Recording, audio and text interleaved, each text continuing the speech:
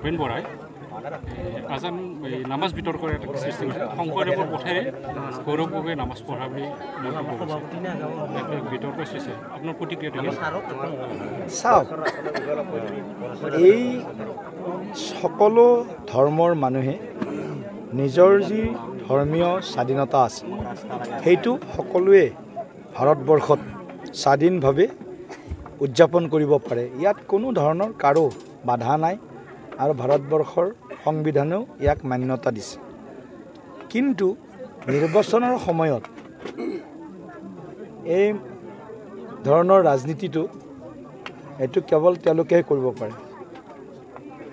তেওঁলোকৰ যদি দায়বদ্ধতা থাকিলেহেঁতেন মুছলমান ভনীসকলৰ নাৰী শিক্ষাৰ কাৰণে তেওঁলোকে কেইখন কলেজ খুলিলে বিগত পঁচপন্ন বছৰত? মুছলমান ভনীসকলক সবলীকৰণ কৰাৰ কাৰণে তেওঁলোকে কিমান মুছলমান ভনীক শিক্ষিত কৰিলে দক্ষতা মানে প্ৰশিক্ষণ দিলে স্কিল ট্ৰেইনিং দিলে।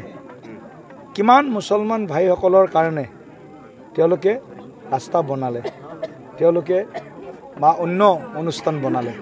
এইবিলাক তেওঁলোকৰ সদায় ভোটৰ সময়ত ভোট বেংকৰ ৰাজনীতিৰ এইবিলাক এটা নিৰ্লজ্জভাৱে তেওঁলোকে কিছুমান কথা দেখুৱাই দিয়ে।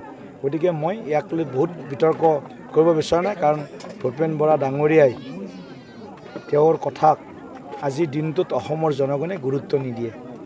ৰাতিপুৱা এটা কথা কয় দুপৰীয়া বেলেগ এটা কথা কয় আৰু সন্ধিয়া বেলেগ এটা কথা কয়। তেওঁ এজন অপ্ৰাসংগিক লিডাৰ বৰ্তমান সময়ত।